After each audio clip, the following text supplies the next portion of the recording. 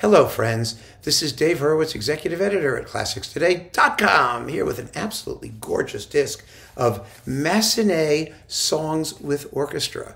Now, here's something you probably haven't heard, and there's quite a ton of them. There's a lot of these suckers. Let me see how many there are.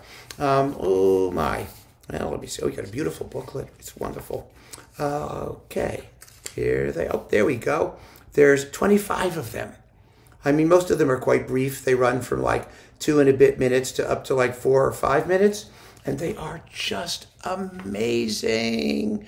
You know, Massenet, of course, was a fabulous orchestrator, and his music is lyrical and yummy and luscious, and there's a lot of harp in here, of course, because it's French, and and he, he didn't write song cycles. Most French composers of the day did not write song cycles, but they wrote many orchestral songs. The original version of Saint-Saëns' Danse Macabre is one.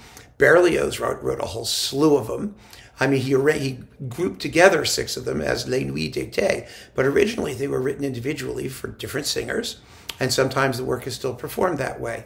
And the same is true of Massenet. So here we have one, two, three, four, five, six singers six singers Jodie Devos, Cyril Dubois, Veronique Gens, she's the most famous name here, Etienne Dupuis, Nicole Car, and Chantal Santon Jeffrey with the Orchestre de Chambre de Paris under Hervé Niquet.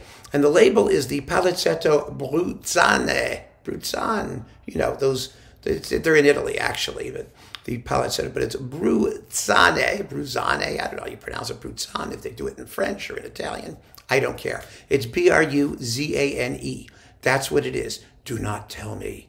Don't tell me. I don't want to know. I don't care. That's it. Okay.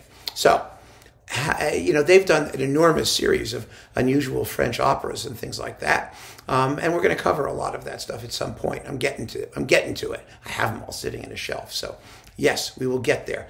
But this is a, a single disc release. They are scholarly productions, um, often done in association with the publication of critical editions of the works in question. You get beautiful booklet notes with, with complete texts and translations, French to English. Um, really just first class product of a kind that we seldom see anymore. It's really true. And I mean, this is readily available. It's distributed in the United States by Naxos. You can find this stuff, but the songs are just lovely.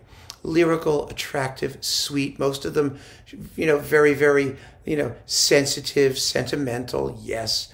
But, uh, you know, I mean, what's not to love? If you like orchestral song settings, like Mahler's Des Knaben Wunderhorn, for example, or something like that, we have a pile of orchestral songs that are not, strictly speaking, a cycle, but rather just a group of wonderful orchestral songs. You should have the Massenet songs. The sonics are marvelous. The playing is terrific. The singing, my goodness, these are all really, really good singers.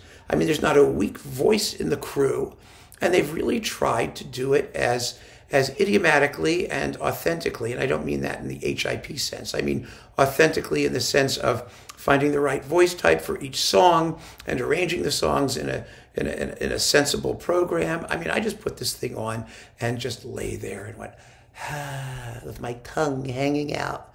Well, your tongue may not hang out, but your ears will. I guarantee it. So give this a shot. You will be extremely glad that you did. Um, it's it's, it's a special and wonderful release of truly unique and interesting repertoire. The complete Massenet songs with orchestra. Well, I don't know if they're all complete, but it's a lot of them. 25 of them, let's just say. 66 minutes and 40 seconds on one CD. Go for it. Take care, keep on listening, and thank you for giving me a chance to tell you about this splendid disc.